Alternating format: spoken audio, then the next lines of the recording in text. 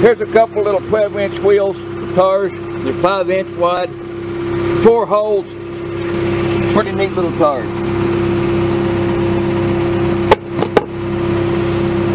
Get the power of them.